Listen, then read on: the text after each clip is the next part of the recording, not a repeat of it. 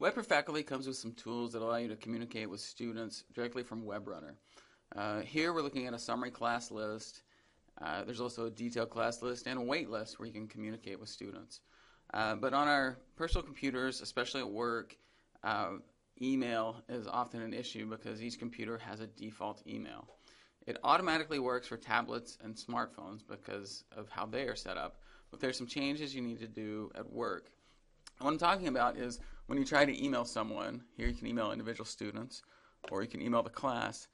If you click it, depending on the computer, it will might pop up and say it wants to run Microsoft Outlook, uh, or like this, nothing happens.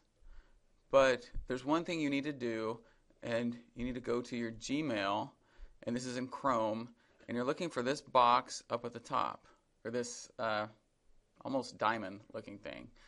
And it says this page wants to install a service handler. You're going to click that, and then say allow mail.google to open all email links, and click done. And from there, all you need to do is refresh the page, and then you can start and now your computer will be changed. And now, once you've done that, uh, you can go into the summary class list and you can click on the individual email icons to uh, email specific students.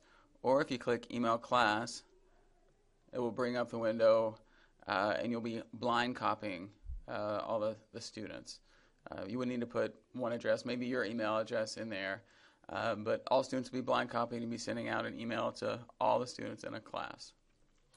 And that's how you change it on your PC, your work computer, where it doesn't automatically bring up Microsoft Outlook, but instead will bring up Gmail.